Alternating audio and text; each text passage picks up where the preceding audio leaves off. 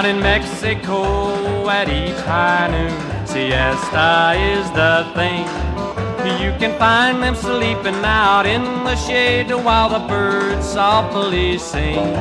But from a radio there comes a U.S. show, and the disc jockeys playing the blues. Before they know what's happened, they're up and clapping to the tune of the blue suede shoe.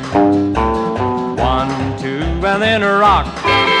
It's the funniest thing ever told. The day that Mexico gave up the rumba to do the rock and roll. In the middle of town, the big bull ring stands. It reaches to the sky. Inside the matador has got his sword in hand, and a bull is fixing to die. But from a phonograph there comes a frantic sound, and the sword drops from his hand. The bull begins to dance around in the dust to the beat of a big brass band. One, two, and then a rock.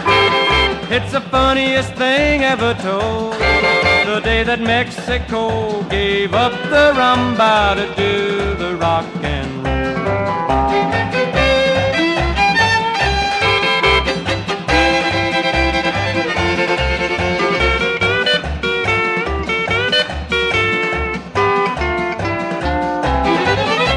the summertime, the tourists come expecting to see the scene of the quiet places and the quiet faces they read of in magazines.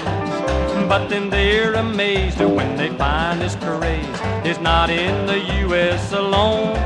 They used to dance neath the stars to the Spanish guitars, but now they do it to a saxophone. A rock. It's the funniest thing ever told. The day that Mexico gave up the rumba to do